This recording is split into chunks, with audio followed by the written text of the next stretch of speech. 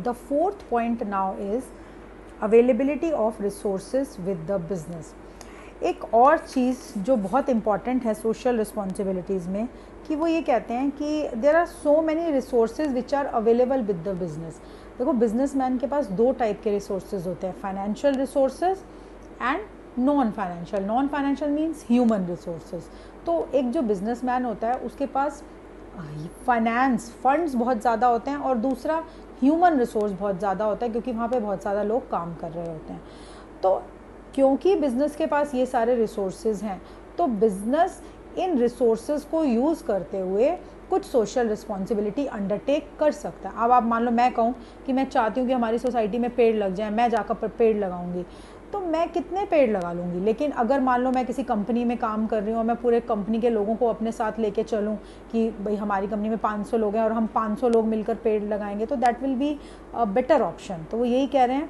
कि the business institutions have valuable financial and human resources which can be effectively use for solving the problems of the society ये जो हमारे human और financial resources हैं, जो हमारे फंड्स हैं बिजनेसमैन के पास फंड्स बहुत सारे होते हैं। किसी भी काम को करने में पैसा चाहिए होता है, उनके पास फंड्स होते हैं। और किसी भी काम को करने में हमें ह्यूमन बींग्स चाहिए होते हैं। उनके पास वो भी हैं। तो हम इन दोनों रिसोर्सेज की हेल्प से जो हमारी प्रॉब्लम्स ऑफ़ द सोसाइटी हैं, जो भी कुछ हम अच्छा करना चाहते हैं सोसाइटी के लिए, वो कर सकते हैं। क्यों? क्योंकि बिजनेसमैन के पास फंड्स भी हैं और लोग भी हैं जो भी एक काम करने में चाहिए।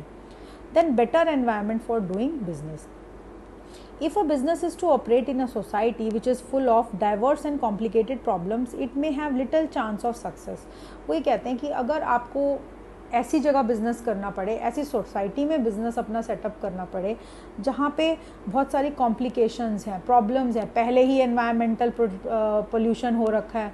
आपको ऐसी जगह में अपना बिज़नेस सेटअप करना है जहाँ पे पॉल्यूशन बहुत ज़्यादा है वर्कर्स अच्छे नहीं हैं स्किल्ड नहीं है कुछ भी प्रॉब्लम हो सकती है। तो यूल फाइंड इट डिफ़िकल्ट आपको मुश्किल लगेगा काम करना। But society with fewer problems एक ऐसी सोसाइटी जहाँ पर कम प्रॉब्लम्स हों it provides a better environment to a firm for doing business तो हर बिजनेसमैन ये चाहता है कि मुझे एक ऐसी सोसाइटी मिले, मुझे एक ऐसी एनवायरनमेंट मिले काम करने के लिए, जहाँ पे कि प्रॉब्लम्स थोड़ी सी कम हों। तो प्रॉब्लम्स कम कैसे होंगी? अगर सब बिजनेसमैन मिलकर अपनी अपनी सोशल रिस्पॉन्सिबिलिटी को निभाएँगे तो वो हमारी सोसाइटी में प्रॉब्लम्स कम होंगी and it will provide a better place a better environment to do good business तो आपकी जो एनवायरनमेंट है, वो भी अच्छी हो जाएगी और आपका काम करने का भी मन करेगा। Then holding business responsible for social problem this is very important वो कहते हैं कि business is responsible for various social problem वो कहते हैं कि जो हमारी कुछ सोशल प्रॉब्लम्स हैं जो हमारी सोसाइटी की प्रॉब्लम्स हैं like like pollution like unsafe work working environment discrimination at employment ये जो सारी हमारी सोशल प्रॉब्लम्स हैं ये किसकी वजह से अराइज हुई हैं? किसकी वजह से ये सोशल uh, प्रॉब्लम्स हुई हैं? बिज़नेस की वजह से। क्योंकि बिज़नेस की वजह से ये सोशल प्रॉब्लम्स हुई हैं तो इसका सॉल्यूशन भी किसको फाइंड आउट करना चाहिए? बिजनेसमैन को ही। और बिजनेसमैन को ही बोलना चाहिए क्योंकि आपने ये प्रॉब्लम्स क्रिएट करी हैं तो इसका सॉल्यूशन भी आप ही निकालेंगे। And you are responsible for all these problems and you have to find a solution to these problems तो इस पॉइंट में यही बोला गया है। It is argued that some of the social problems have been created by the business enterprises, like environmental pollution, unsafe workplace workplace discrimination in employment etcetera ये जो कुछ प्रॉब्लम है ये बिज़नेस की वजह से ही क्रिएट हुई हैं।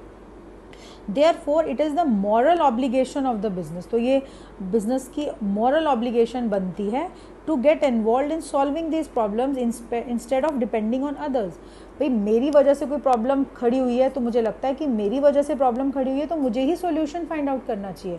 वही चीज़ बिजनेसमैन के साथ भी है। कि ये जो सारी प्रॉब्लम सोसाइटी की हैं, ये बिजनेसमैन की ही खड़ी करी हुई हैं बिजनेसमैन की वजह से ही अराइज हुई हैं हमारी सोसाइटी में।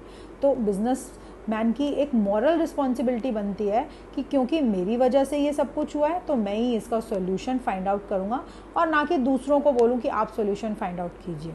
ठीक है? So holding business responsible for social problem means some of the social problems have been created have come into existence because of the businessman only and therefore It is the moral responsibility of any businessman to find out the solution to these problems instant of depending on others दूसरों पर depend करने से अच्छा है कि वो कुछ solution निकालें।